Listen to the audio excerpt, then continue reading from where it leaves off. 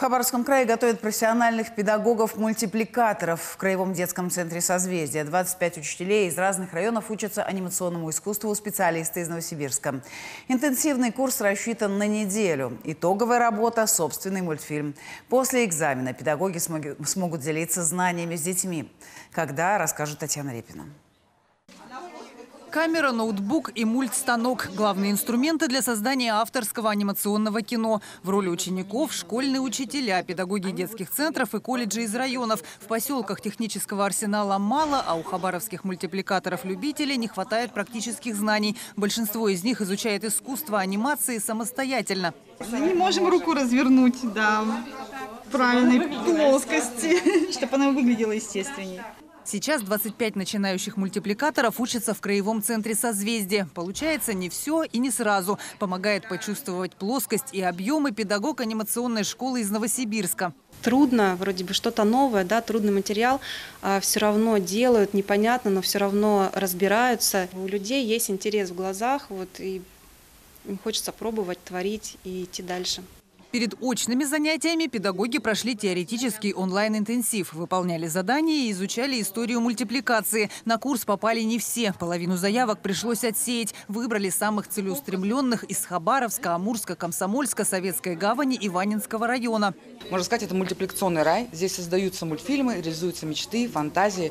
Мы здесь ненадолго возвращаемся в детство. Ведь это здорово. Учитывая, что я не знакома с анимацией вообще была до этого, теперь я знаю, что такое перекладка.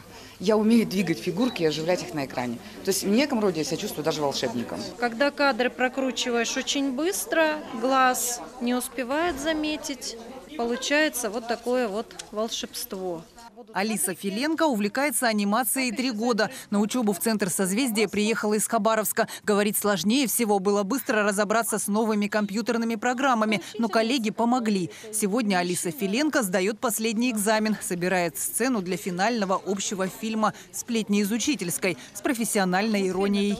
Основан он на анекдоте, как учительница поймала золотую рыбку и попросила, чтобы учительница заполнила документацию вот. В итоге рыбка не выдержала и сказала «жарь».